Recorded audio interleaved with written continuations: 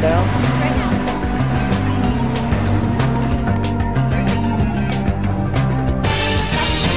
Break here. Let him get some